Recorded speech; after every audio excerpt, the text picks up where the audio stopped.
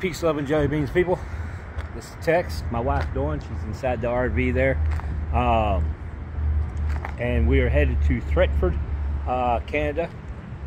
Uh, it's up in the Quebec section. Um, right up right up above the New Hampshire and, and Maine section of uh, the states. Um, we are uh, headed up there. However, there's a lot of people that's asked me here recently about doing this job. Okay, so let, let's touch base on a few things. No, this job is an easy job. Don't get me wrong, it's easy. If you can withstand driving. There's a lot of boring hours sitting behind a wheel. So listening to books um, and not losing track of where you're at or where you need to make a turn. I do that quite often. Yeah. Hey, we just missed turn. Okay, turn around. Simple as that. Uh, yeah. Uh, the thing of it is, is that, um, so there's boring time. But at the same time, this job is a very good job. Um, is it lucrative? Yes. Drive-away division is not. Uh, drive-away division happens to be whereas what we're doing, driving these units, um, you can make a living. But are you going to make a lucrative living? No. this is something you can get into and with very few dollars getting into it. If you want to do tow away, then you need to go out and buy you a three quarter ton or one ton truck and do that. If you're not CDL, then therefore you are going to miss out anywhere between 15 and 30 cents a mile extra um, for doing towaway. So, um, like we're not CDL, so we don't get paid the bigger bucks for no driving the big ones. We only drive up to no 32 feet, maybe 36 feet on a couple of them. But yeah, whether it be a Class A diesel pusher, gas pusher, whatever, whichever one it may be, or Class C that you see me in right there, or even the small Class Bs. Each one of them's got their pluses and minuses, no matter which way you look at it. Um, yeah, the car behind me, as we call it, a Lucid Blue um, Malibu. It is a um, 2017. Uh, you're looking at a twenty to thirty thousand dollar car. We picked it up for 20. Just that's why I say bottom line's around 20. Um, we bought it at 40,000 miles. It's already at 120,000 miles, and it doesn't count the mileage while it's being towed. So there's there's the things. Now, here's the pluses to this. Pluses happen to be is that you get to go all these different places. Now, while you're driving the unit, you don't get to really do a lot of sightseeing. You can, um, but you got a certain percentage you got to stay within. Okay, so literally going from point A to point B, and let's say they give you a thousand miles, well, you got to stay within six six percent. Well, that's going to be 60 miles, and you can add up an extra 60 miles just getting off the road, several different spots. No, getting off into this Cracker Barrel here was a two mile, so that's going to equal up to four mile, rounded up to five miles. No, for just getting off here. Right there, you just went from 60 to 55. Okay, for a thousand miles, and we're not even going a thousand miles. So that that's how this actually becomes a little bit different. I'm going to switch fingers here. Um, see if I can do this. There you go. And so yeah, um, it's got its pluses of sightseeing on the way back if you got a tow car. Okay, because you can go explore a little bit more, um, a lot more. It may take three days to go out to make this delivery and then it may take six days for us to get back because we go and do some sightseeing. Um, so that's where the pluses are at. However, here, let me get to the cold hard truth behind some things that people don't realize. You want a job doing this? Any job you get that takes you and puts you into a driving situation.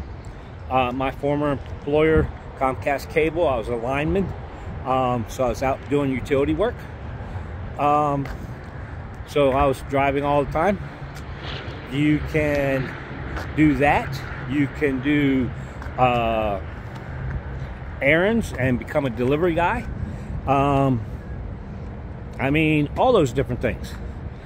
Driving is going to be one of those little things that I'm going to tell you right now is the worst decision that anybody could ever make to do a job.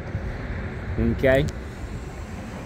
It doesn't matter who you are, it doesn't matter where you're going, but if you pick a job that says you're driving, it is the most deadliest job out there. How many people die in car accidents a year? Wow, wait a second. Let's think about that. How many people die in car accidents or driving a year? Okay? It sits up there right below a disease such as cancer, COVID, all these different things.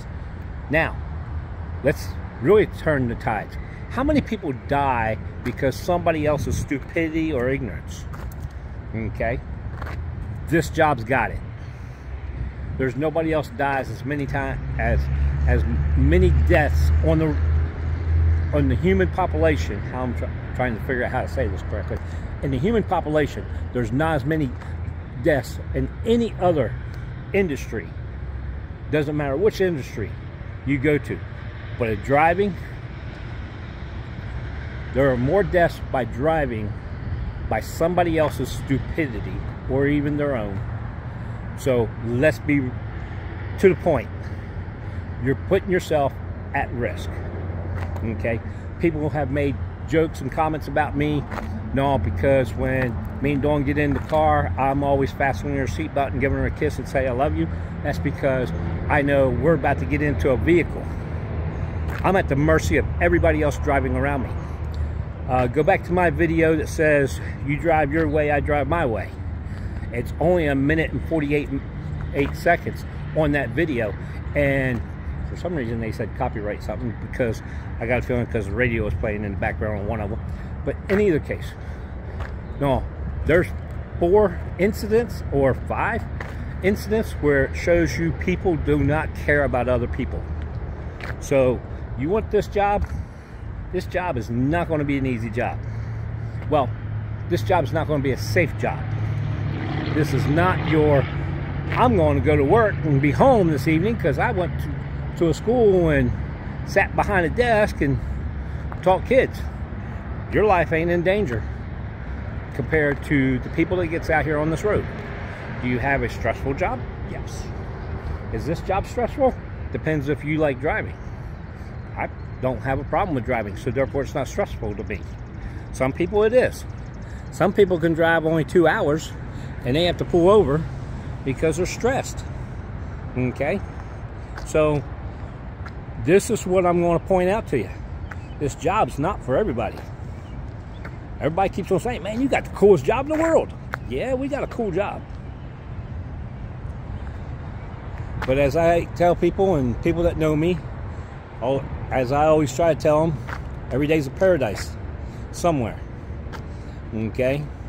And it's up to you to make your paradise. Paradise is only to the people that behold it. Therefore, no, you make your paradise. Now, here's something I've learned from doing some reading and listening to some audio books. No, paradise lasts two weeks. If you didn't know, it takes 21 days to make a habit. Did you know that the human mind actually gets bored if seeing the same thing for 14 days? So paradise is no longer paradise after 14 days because you're bored of paradise. However, can I still stay in Maldives at one of the huts on the water for an entire month or two months or three months? Yeah, I could probably do it and find something to do differently. But yeah, in either case, back on track here. Doing this job, it's great. We get to go places. Let's let's think about it. This year, we have been to the Everglades, uh, two feet from wild alligators that could literally get out of the water and bite you. Um, so yeah, been to uh, Moses Lake, Washington, and sightseeing and did some uh, hiking and so forth up there. Uh, been to Moncton, Canada, which is 180 miles north of Maine, and um, did not see any moose. That's the only thing that we haven't done yet, seen moose. Um, been to Calgary, north of Calgary, by two two and a half hours to Morinville, um, Canada, and still haven't seen any moose yet. But we went to Florida like 19 times before seeing an alligator, so we'll just have to go to Canada at least nine of those times and might see a moose. Um, but we have seen other wild deer type, you know, whether it be deer or elk or whatever. Um, but yeah, we've seen those, seen them actually in, I would like to say herds, where there's like 10 to 20 of them, 30 of them, all in a pasture, just walking across the pasture in, in a herd form, um, or grazing across the pasture. Um, so there's a lot of things that we've seen. Uh, totem poles from the Indians back in time and so forth. Um, totem poles come from the Indians. I don't remember. In either case, uh, but yeah, there's all kinds of different things we've seen, and we've done that this year. No, so take consideration. Tucson, Arizona, we've been to. We went on a cruise to Aruba, South America. No, Dawn's out here picking up pine cones, coming up with a different crafting task. No. One thing I love about her, she always has her mind working on crafts. No, we come up with different things. But yeah, so there you go. Um, there's the hard truth of the job itself. If you want to do this job, I put all my information at the bottom in Horizon's uh, link. You can definitely go ahead and do this.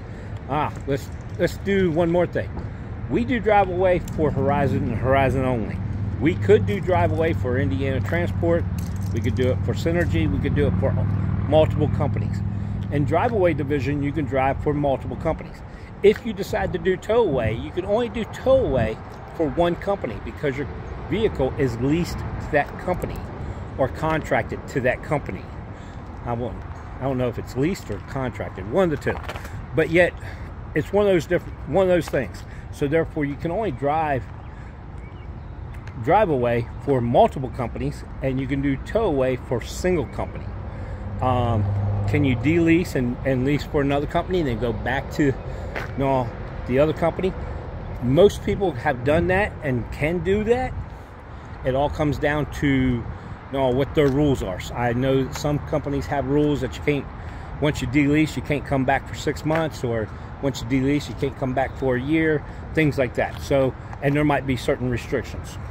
No, if you deleased and you had under a thousand uh, safety miles or something like that, then yeah, you might not be able to come back for two years. I don't know.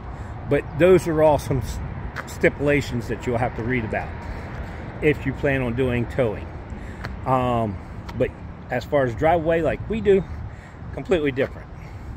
So there's you the ins, outs, pluses, minuses, drive away, driving, and all that good stuff.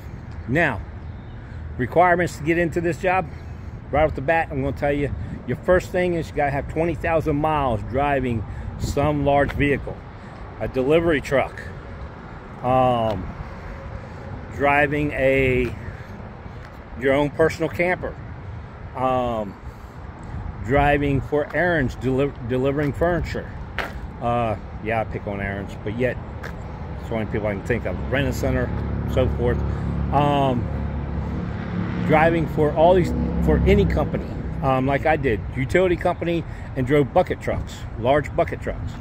Um, so, yeah, when you get into this job, you've got to go into it knowing that you've already driven over 20,000 miles.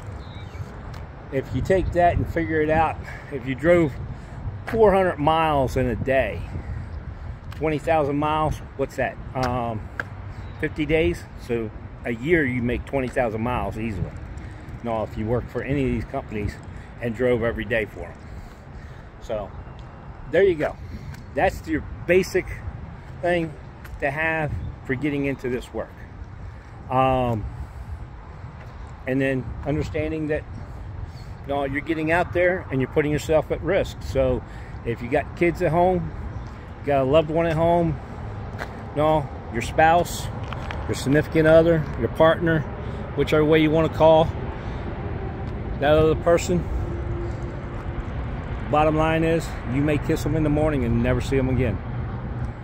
No, this job is not for everybody. My biggest point. Got to take this serious. You don't get out there and just think that I'm going to go and have fun. It's not that way. You do have fun, but not every day is going to be rainbows and sunshine. No, um, we are not in a. I'm trying to think of the little cartoon that comes to my mind with the rainbows on it. Um, I can't think of it. Anyway, been so long since my kids have been little. Darn, cartoons have even changed since then. Anyway, all right, there you go. I've made this video long enough. You guys got the point. No, really think about it. Do you want this job? Do you like the Do you like the drive? Can you withstand driving? If you already did 20,000 20, miles in something, you may know what you what you're getting into a little bit better. But there you go. That's what it takes to do this job.